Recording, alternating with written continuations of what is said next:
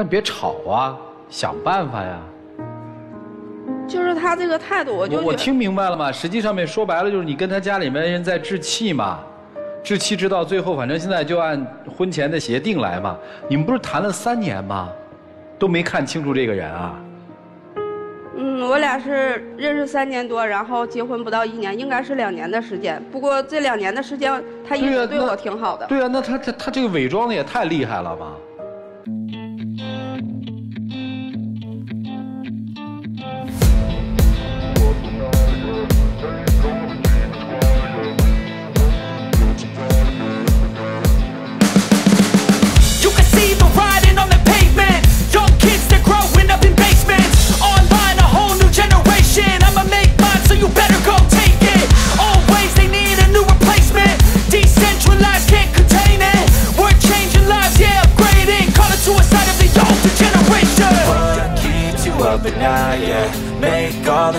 Quiet, yeah. We were built to thrive, yeah. I think that we've all had enough. What keeps you up at night, yeah? Make all the demons quiet, yeah. We were built to thrive, yeah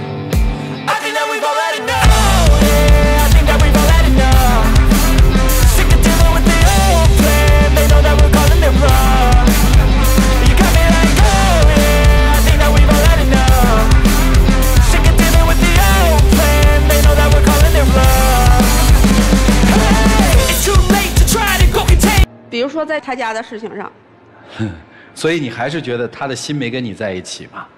这大概大概就是再婚家庭的困难嘛，就是每个人都在拨弄着自己的那个小算盘嘛，算的都特别精嘛，是不是这意思啊？我听来听去。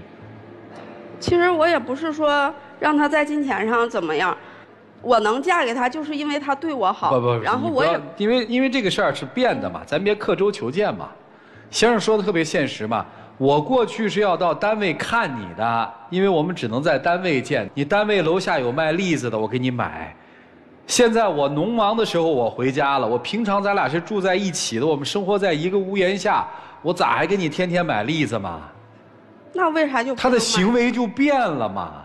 那是个日常生活，那是要去约会嘛，是不是啊？他那会儿去看你是不是约会啊？现在不是日常生活吗？您提了要求，人家不也买了吗？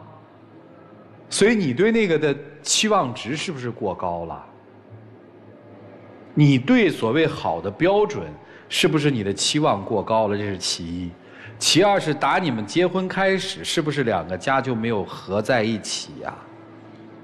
没有，一直是他在我，对吧？因为各自心里面都有一些小算盘嘛，还是那个嘛，各自都在算自己的账嘛。所以你们俩真的要听听老师们的建议了，看看怎么办，一起进入丘比特问卷。